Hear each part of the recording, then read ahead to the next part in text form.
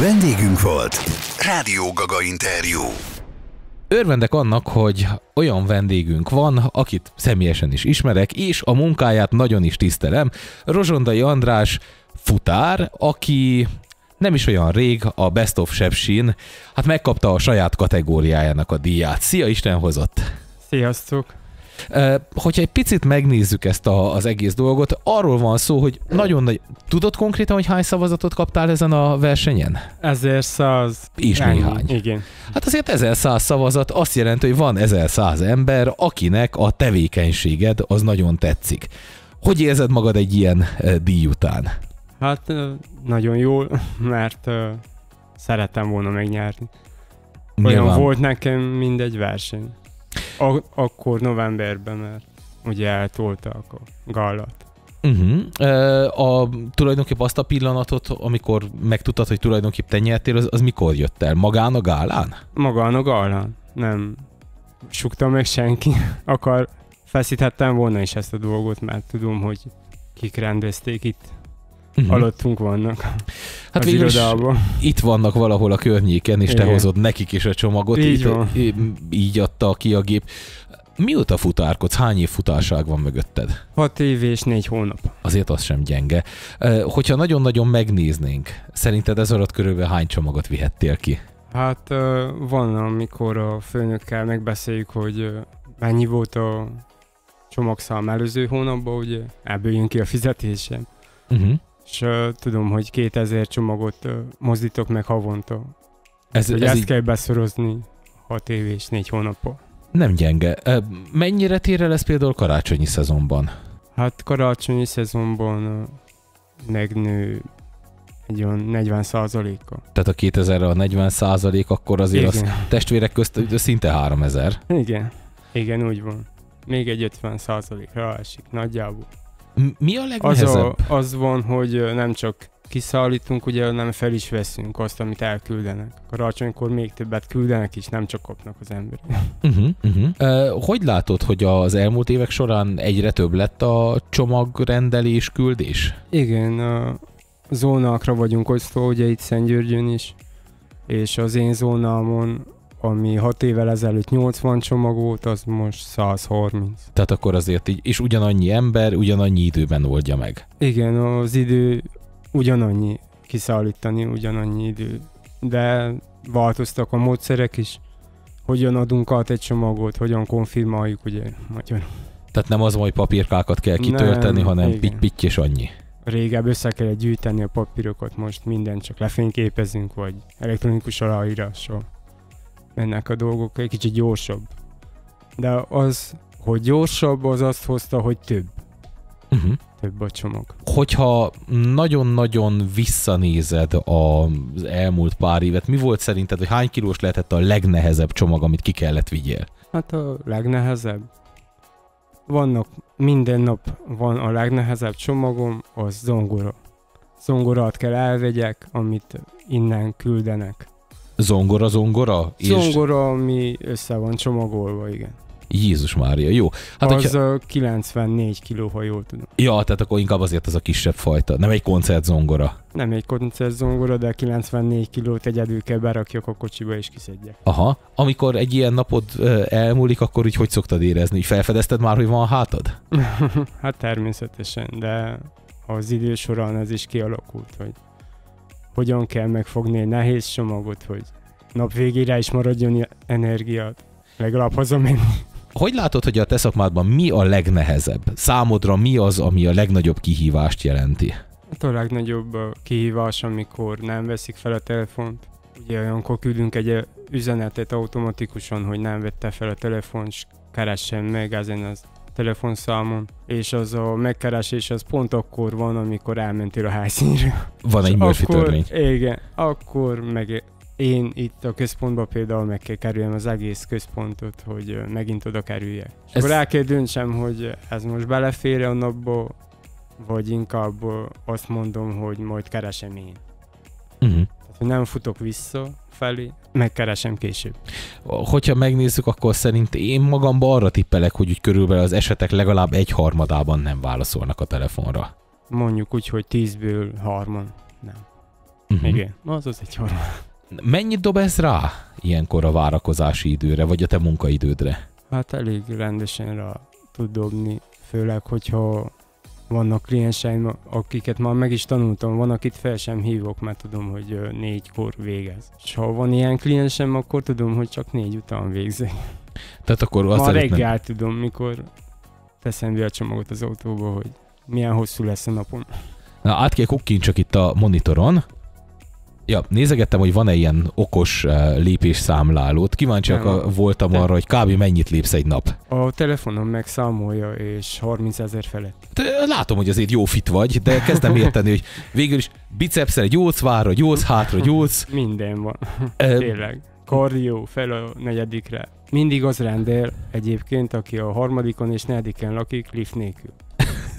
és a, ők a nehezeket. I- igen, hát nehezeket. Szerencsére nem. Hogyha egy picit a, a, az embereket meg kellene nézed, mi, mi az, amit rendelnek? Nem márkák érdekelnek, hanem mit tudom én, cikkek. A legtöbbet ruhát rendelnek. Tényleg? Elképesztő, de ez az igazság. Azon gondolkozom, hogy ugye még megjelentek ezek a boxok is, ezek a különböző szekrénykék, ahol lehet rendelni, de úgy látom, hogy így is egyre több a futár is, egyre több nyilván gondolom a csomag is. Igen, bejött ez a Shine, nem tudom szabad mondani, meg a Temu, ezek a, ami ki is van fizetve, és rengeteg van belőlük. És egy rendelést felosztanak. Olyan van, hogy valakihez minden nap megyek.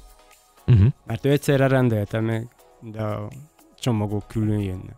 Rendel több dolgot, akkor az minden napra egy dolog. Ilyenkor nem minden szokták mondani, hogy, hogy gyere csak nyugodtan, holnap után be addigra idér az igen, egész. Igen, csak nálunk a, van ez a szabály, ugye, hogy ha megjött, akkor ki kell vinni. Uh-huh. Aznap. Mert bónusz. Ja, hogy az is benne van. Igen. Tehát ez hogy nem működik? gyűjthetem össze László Andrásnak a csomagjait, és pénteken adom át, Aha. hanem ha hétfőn jött, akkor hétfőn át kell adni. Meg kell próbálni átadni. És akkor ezt próbálod is tartani. Igen, próbálom tartani.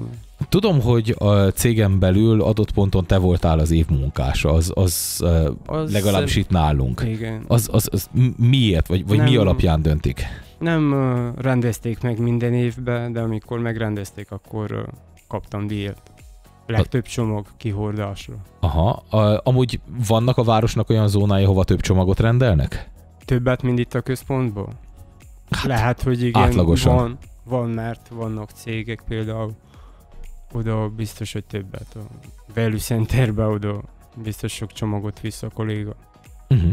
De ő gyorsan le is adja. Végül is, ha egy helyt van, akkor könnyebben le, könnyebb leadni. Jó, nem tudom, hogy mennyire e, érzed azt, amikor ajándékot, ajándékot hozol, csomagot hozol az embereknek, hogy akkor örvendenek neked. Nagyon örvendenek. Van a család, ahol a gyerek még el se készült, meg se csinálták a gyereket, és már hordtam a szülőknek a csomagot, ma már pedig a gyermek azt mondja, hogy az ajándékot nem a szüleitől kapja, hanem tőlem. Akkor végül is rendben van. Igen. Rókonok megkérdezik, honnan kaptad ezt a csomagot? Kitől kaptad? Anyától, apától? Nem, a futártól. az András volt, aki ezt az ajándékot hozta. András, hogyha őszinték vagyunk, nem tudom, hogy mennyire akarsz erről beszélni, hogy mennyire tudsz. Biztos, hogy ennyi évbe belefért rengeteg negatívum is. Ezt most így zárójelbe tesszük. Beszéljünk a pozitívról. Mi, mi a legjobb tapasztalatod, vagy mi az, ami neked a legjobban esett így ebben a munkában? Hát az emberek arca, amikor találkozok velük, és átadom a csomagot.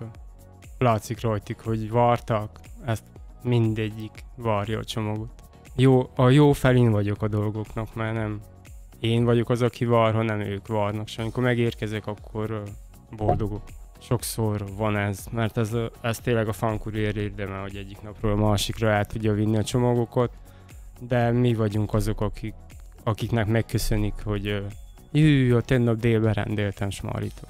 Azért gondolom, hogy nem egy Igen. emberen múlik az, hogy ez így tud működni. Nem, nem. Vannak az éjjeli manók.